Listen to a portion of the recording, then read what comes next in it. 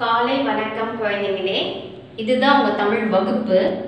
நான் இன்றைக்கு உங்களுக்கு உயிர்மே எழுத்துக்களில் யா யானை. யா எப்படி எழுதணும்னு சொல்லிக் கொடுக்க வந்துள்ளேன். குழந்தைங்களே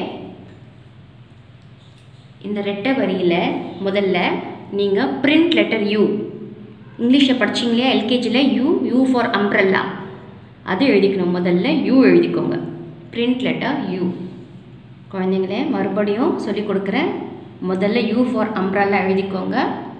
பிறகு இது மேலே கை வச்சு பா எழுதிக்கோங்க. Standing line sleeping line standing line யா யானை. குழந்தைங்களே மறுபடியும் சொல்லி கொடுக்குறேன். பிரிண்ட் லெட்டர் யூ எழுதின பிறகு கை எடுக்காமே பா எழுதிக்கணும்.